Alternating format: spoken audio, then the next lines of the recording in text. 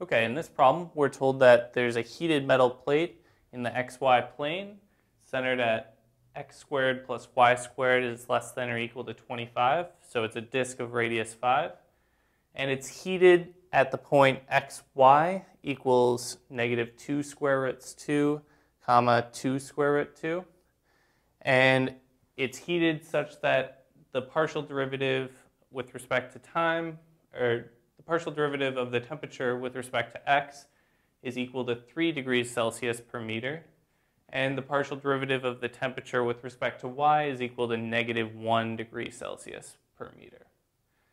And we're asked to calculate the partial derivative of the temperature with respect to r and the partial derivative of the temperature with respect to theta where we're reminded that x is equal to r cosine theta and y is equal to r sine theta in polar coordinates. So first we're going to want to verify that our point xy is in the is on the plate actually. So if we take negative 2 square roots 2, 2 square roots 2, and plug it into x squared plus y squared, we see that this is going to be equal to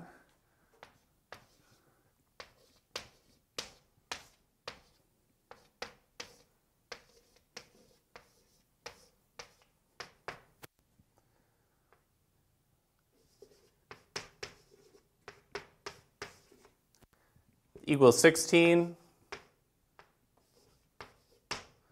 which is less than or equal to 25, so it's on the plate.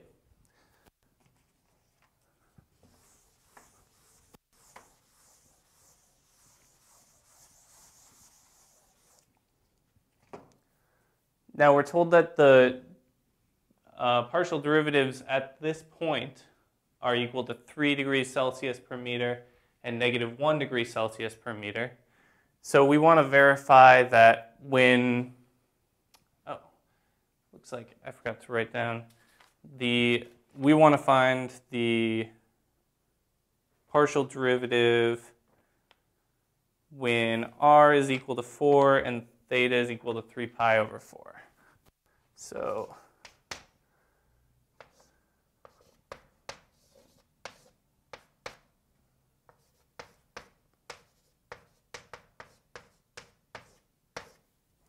So we want to calculate the partial derivative of the temperature with respect to r at the point 4, 3 pi over 4, and the partial derivative of the temperature with, with respect to theta at 4, 3 pi over 4.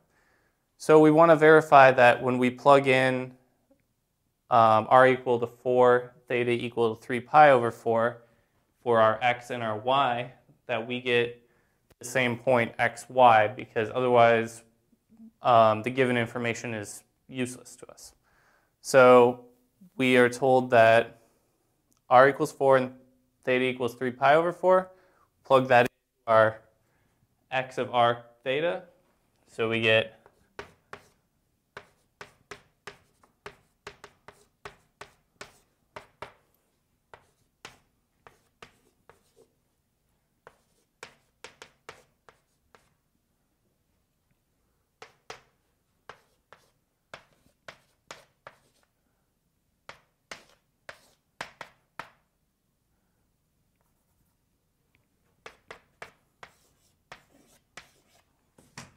So we see that that equals 4 times the negative square root 2 over 2, which simplifies to negative 2 square roots of 2. And we see that that's what our x coordinate should be. Do the same for y.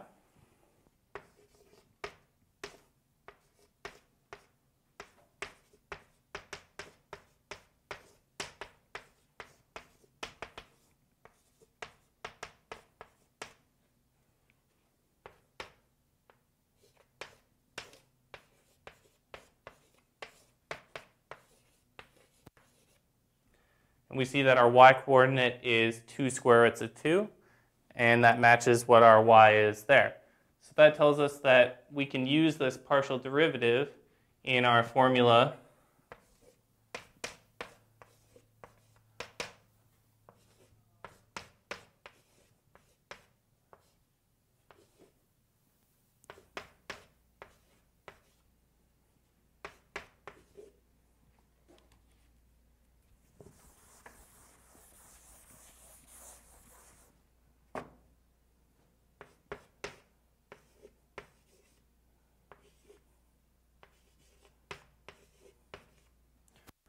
for the partial derivative of the temperature with respect to r, we have the partial derivative of the temperature with respect to x times the partial derivative of the temperature or of x with respect to r plus the partial derivative of the temperature with respect to y times the partial derivative of y with respect to r.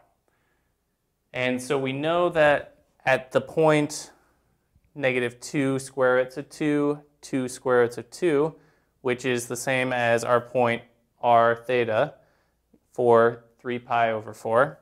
The partial derivative of the temperature with respect to x is 3 degrees Celsius per meter.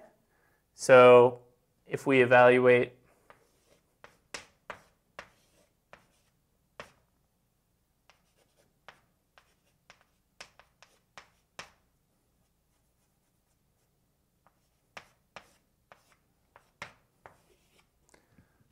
the total, if we evaluate it at that point, we can plug in our 3. Now we're going to want the partial derivative of x with respect to r. So we know that x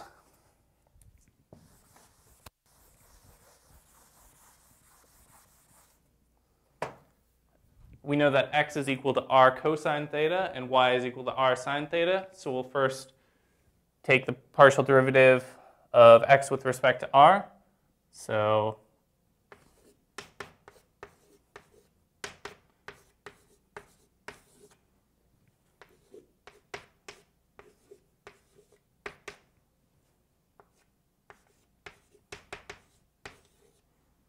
we see that the partial derivative of x, x with respect to r is cosine theta, and the partial derivative of x with respect to theta is equal to negative r sine theta.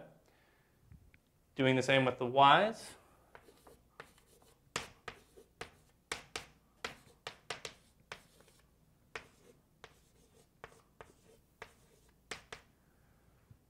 is we see that the partial derivative of y with respect to r is sine theta, and the partial derivative of y with respect to theta is r cosine theta. Okay, so now we're evaluating it at the point r equals 4, theta equals 3 pi over 4. So we're going to want to plug in our values here when we uh, substitute in for the partial derivative. So the partial derivative of x with respect to r is cosine theta, and theta is 3 pi over 4.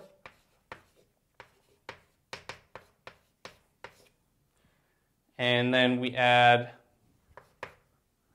our negative 1 times the partial derivative of y with respect to r, which is sine theta, where theta is 3 pi over 4.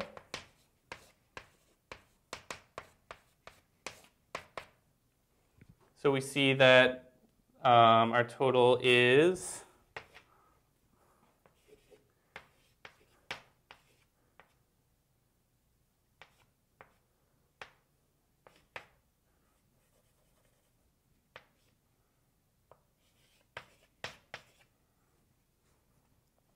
three times the negative square root two over two minus square root two over two, which is negative 4 square root 2 over 2, which is negative 2 square root 2. So we see that the partial derivative of t with respect to r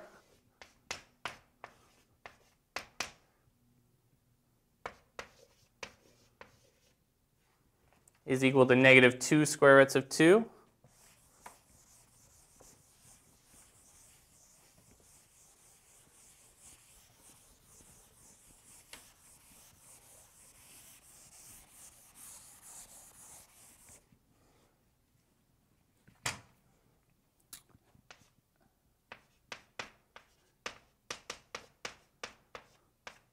Of course, that's what, when r is equal to 4 and theta is 3 pi over 4.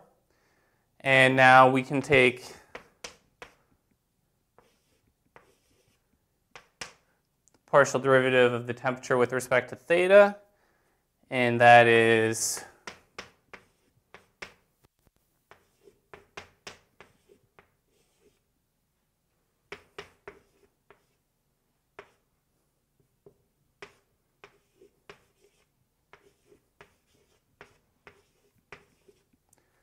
the same as the one for r, except we replace the r's with thetas. So we know that the partial derivative of the temperature with respect to x is 3, and the partial derivative of x with respect to theta is negative r sine theta. So that's negative 4 sine 3 pi over 4. And then partial derivative of the temperature with respect to y is negative 1.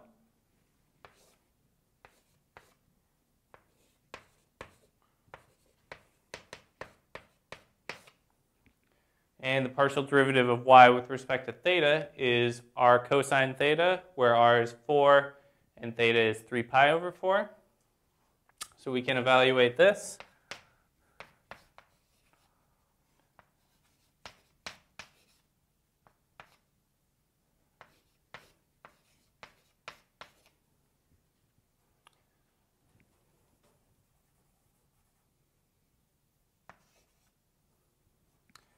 And we see that we can pull out uh, negative 4.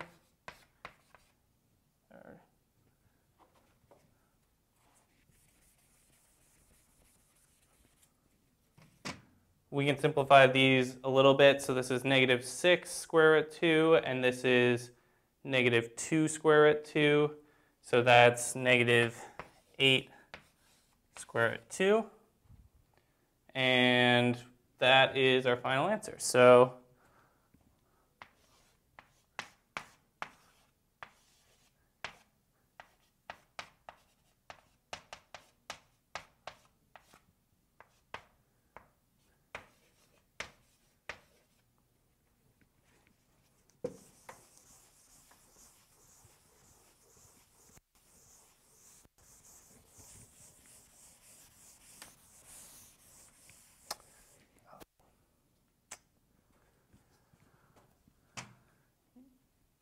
You know what? I just uh, realized that I took the cosine wrong, so I'm going to change that a little bit. It's going to be, if you could look back, you'll see that we had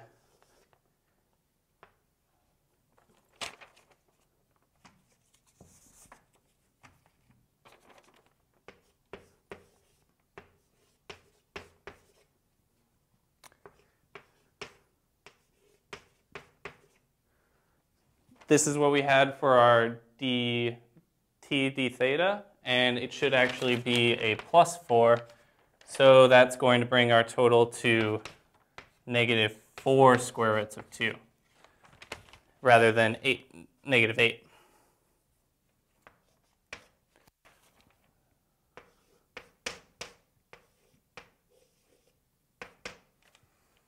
Okay, so now we want to know what these mean. So the partial derivative of the temperature with respect to r is essentially if we moved along the radius of the disk, what would the change in the temperature be? And uh, from that point. And for the partial derivative of the temperature with respect to theta, that is as we move around in a circle around, along the so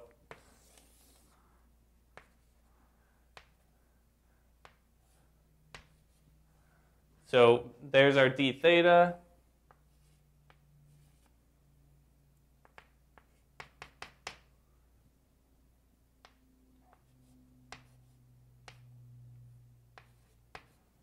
And there's our dr.